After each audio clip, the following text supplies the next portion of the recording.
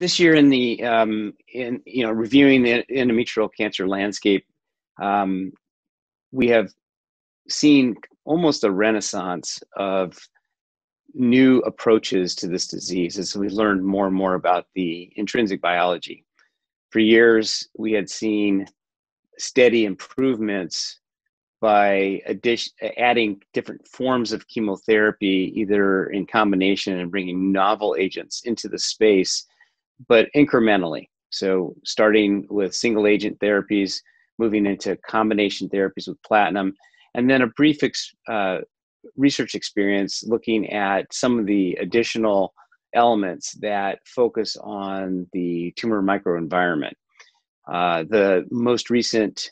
of which, prior to the adoption of immune uh, therapy, which uh, which is really kind of the center point of the new therapies moving forward, was the use of bevacizumab. And so uh, there were several trials that looked at the role of bevacizumab as an adjuvant during chemotherapy and given as a maintenance treatment. Um, the collective of all of these experiences has been that we've kind of reached a therapeutic ceiling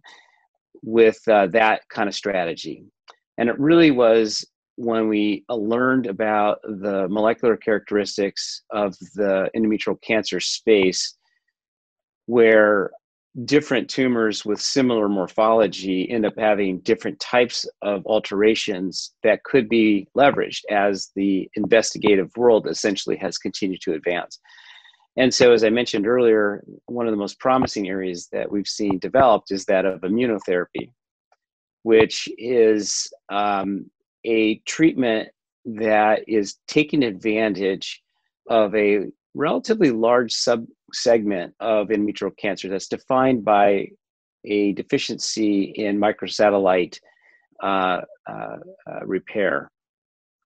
Because of that deficiency, which we see in up to almost a third of endometrioid adenocarcinomas, which is the most common cell type we see with this disease, we have um,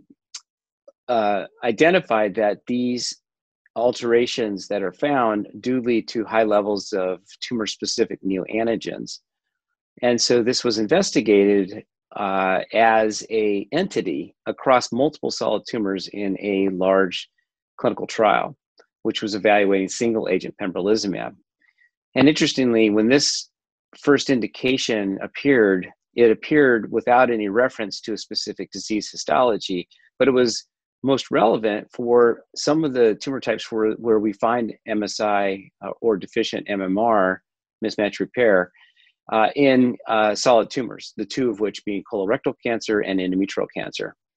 So, with the identification of this single agent at producing objective responses and even more importantly, prolonged durations of response and, and pr- delay in progressions, it became very exciting to start to move this particular therapeutic strategy earlier on into the into our therapeutic paradigm.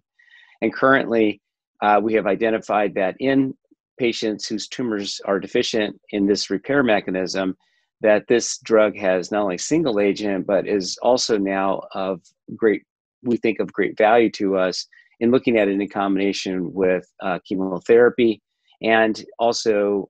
uh, in combination with other novel agents. When we look at the the patient population that is uh, stable, so does not have microsatellite insufficiency or deficient MMR by our testing algorithms, we were we identified a combination with lenvatinib, which is a multi-tyrosine kinase inhibitor that uh, demonstrated high levels of objective response, rivaling that of chemotherapy. And so when we looked at this in a, uh, again, another large prospective trial, we found that there was objective uh, response as duration of response and delay in progression, uh, which was uh, quite impressive and applied to now this microsatellite stable cohort of patients. So the development stream that's happened with these uh, two drugs, pembrolizumab and uh, now pembrolizumab and lenvatinib, is applying into earlier lines of therapy. And we've just heard that when we looked at this in patients who've already had at least one line of prior chemotherapy and is being compared against reference chemotherapy single agents, that this combination appeared to be superior. Now, we haven't seen the data, but it's been announced in the in the public domain that there is uh, that that has met its all of its primary endpoints. We're very excited about that because right on that heel of that particular trial will be another trial we call LEAP 001, which will be evaluating uh, the combination of lenvatinib and pembrolizumab against standard first line chemotherapy with an opportunity to uh, to kind of supplant our, our strategy. So when you look across the spectrum of endometrial cancer, uh, we're starting to see more and more uh, evaluation of the incorporation of immunotherapy into this uh, into this clinical domain. We have a lot to look forward to with respect to that, along with the uh, myriad of other uh, potential uh, promising sites, such as HER2/neu amplification, which we see in one of the more uncommon tumor types we, we call uterine serous tumors, where we've seen some preliminary efficacy, efficacy activity. So it's a very exciting time uh, to be in this uh, space, and it's uh, good news for our patients.